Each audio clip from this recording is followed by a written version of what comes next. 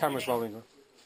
This suspect is about to be arrested. He's also being filmed by a camera worn on the uniform of one of the officers.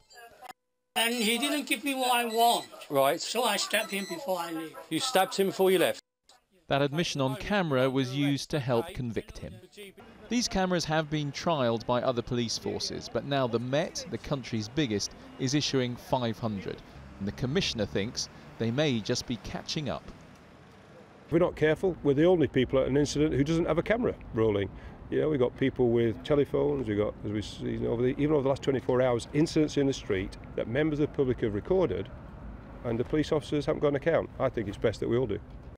Cameras could provide evidence when the police are under scrutiny. Mark Duggan was shot dead by police in 2011. An inquest said he'd been lawfully killed. Today, his aunt told 5 News that cameras might have made a difference. The, besides the independent witness, the only witnesses were the police.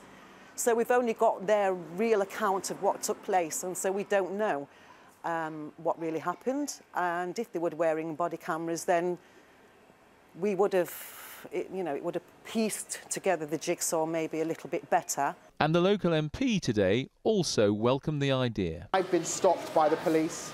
Uh, usually, when I'm not wearing a suit, I'm wearing a hoodie. I'm on the way to the gym or something. Uh, and in those, and sometimes it's not always been friendly. I'd quite like a camera to be running. Stop here for a second. Just so you know, everything that we do and say is being recorded, okay? It's all on camera. There's been a broad welcome, in fact, for the cameras, even if some worry there have to be clear guidelines for the way they're used.